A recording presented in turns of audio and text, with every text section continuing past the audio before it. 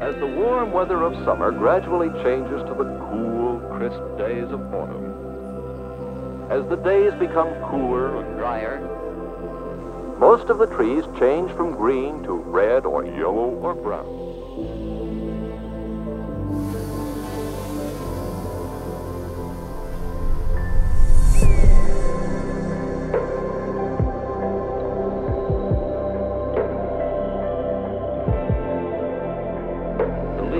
Leaves change color.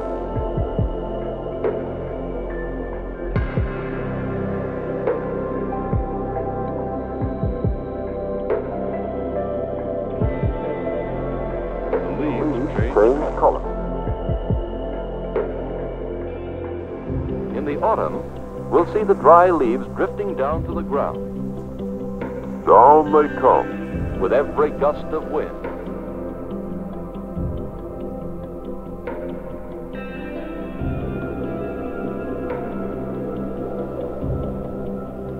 Falling, floating, swirling, swirling, swirling, dropping by the hundreds from the branches and piling up in deep layers on the ground.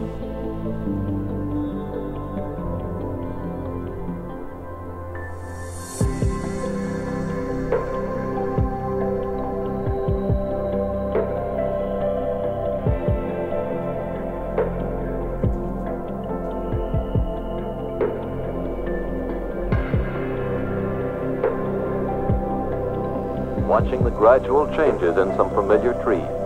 Many changes that happen continuously through the seasons. But the story is not over.